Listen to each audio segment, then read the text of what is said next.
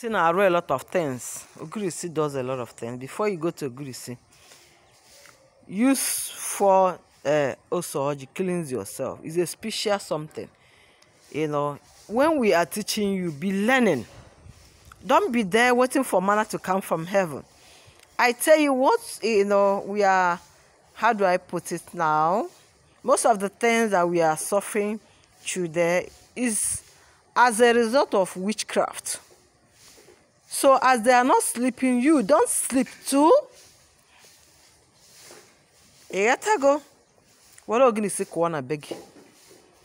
Ịpụta n'ụtụ were ejezi na-ego sponge n'afọ were ogirisi na-eme sponge. mana ị ga-ekpe ekpere yọọ ya ihe ị chọrọ iji ya were emesị ya biko na ihe dị ụtọ na ụmụ gị niile smachi ogirisi iwere ya na-asa ha ahụ na-asa ha ahụ na-asa kwefere ka m ya be m this is my office. Ịghọtago?